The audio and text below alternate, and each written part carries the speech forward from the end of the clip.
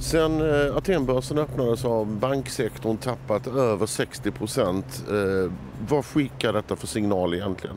Ja, förtroendet är lågt för bankerna, det är det ena. Det beror ju på att eh, ekonomin har gått ner ganska kraftigt uppenbarligen, vilket ökar risken för stora konkurser.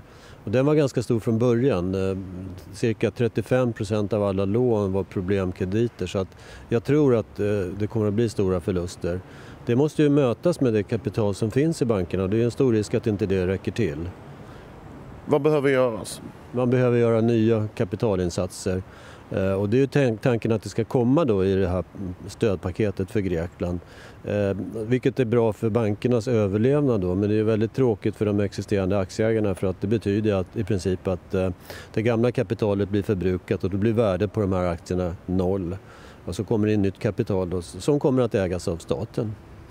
Men det är ju också så att eh, så länge valutarestriktionerna är kvar och, och, och uttagskontrollerna är kvar så finns det ju ingen risk för eh, en bankrun, alltså att folk plockar ut alla sina tillgångar ur bankerna. Men vad händer den dagen de lyfter de här kontrollerna? Ja, det är framförallt för företagen då. Det är, företagen kan ju flytta stora pengar, summor ganska snabbt. Hushållen tar ju ut relativt lite pengar eh, per, per, person då. Det kan bli mycket också över tid men, men den stora risken är väl om företagen vill flytta pengar.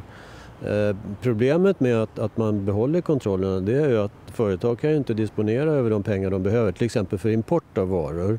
Grekland är ganska importberoende och det handlar ju både om det som ska konsumeras men också ganska mycket insatsvaror. Så att delar av industrin i Grekland står ju still här därför att de inte kan få det material de behöver. Så att det, det åstadkommer en stor ekonomisk skada eh, för grekisk ekonomi att man behåller kontrollerna. Men alternativet är ju att bankerna töms på det kapital de har. Ja visst, och det är naturligtvis inte eh, en möjlig situation att man skulle kunna öppna kontrollen och, att, att bankerna skulle tömmas på pengar. Därför så tror jag att man måste få in det här kapitalet snabbt. Mycket snabbare än det man har pratat om som handlar om att det kanske ska ta en 3-4 månader innan man kan kapitalisera upp bankerna. Så att det här är väldigt akut då, att man kan lösa kapitalproblemet i bankerna och kunna ta bort eh, de här kapitalkontrollerna. Annars blir det fortsatt nedgång för grekisk ekonomi. Nu kom ju brittiska konjunkturinstitutet idag med eh, en rapport och en analys över grekisk ekonomi där de menar att Grekland måste få skuldavskrivningar på 900 miljarder eh, kronor. Eh, annars så kommer man aldrig att få igång ekonomin igen. Det här är ju ett stort politiskt dilemma för långivarna. Hur är din bedömning av möjligheterna att de får de här skuldavskrivningarna?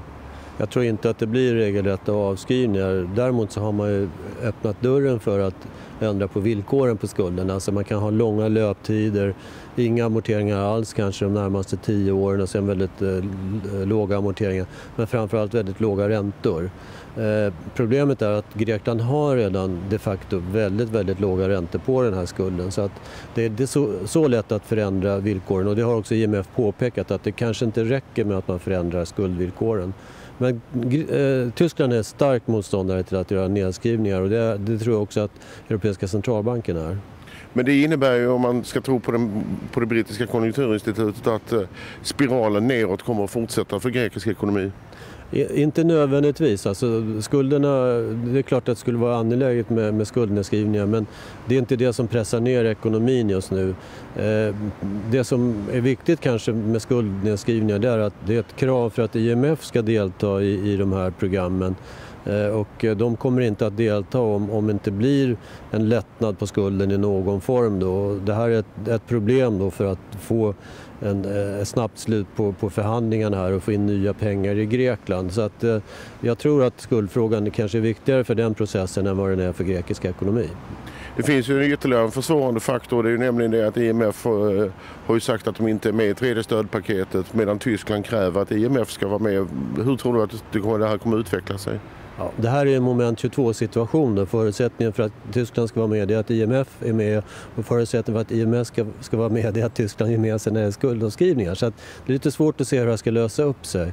Eh, men man kan väl konstatera då de här fem åren av, av, kris som vi har haft i Europa så har det varit en enorm kreativitet när det gäller att eh, krångla sig runt alla olika typer av regler och uttalanden. Så jag tror ändå att det är det mest sannolika i det här fallet också då, att man, man kan hitta några formuleringar som, som alla kan vara nöjda med. Eh, därför att det är fortfarande så att på långivarsidan så anser man att det bästa scenariot är att Grekland stannar kvar inom euron och då måste man ha eh, det här programmet på plats. Nu kommer det uppgifter om att eh, man börjar i alla fall prata om ett nyval i höst i Grekland. Eh, det är ju en uppenbar risk att det innebär att eh, resultatet blir att man lämnar euron. Men det, ju, det löser ju inte så att säga bankernas kapitalproblem det heller. Nej, kapitalproblemet måste ju lösas med, med, med, med, nya insatser. Då. Det måste vara statliga pengar. Antingen får grekiska staten låna de pengarna av dagens långivare eller om det blir en, en Grexit då, Grekland återinför drakman så får man helt enkelt trycka nya drakmas för att stoppa in kapital i bankerna.